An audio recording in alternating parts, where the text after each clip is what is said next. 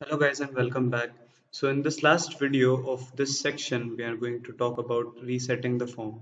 So let's say I had a button here like so, and it had the text reset.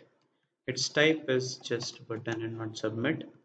And its uh, button and button warning. Let's try this class out. Save this. And if I go back to the page here then I should see a reset button as well. Now let's bind an event named click to it. And I should reset the I should call the reset form method when this is clicked. So now if I go back let's just specify this method in here um, what I can do now is call the user form method dot. There's a method named reset on it.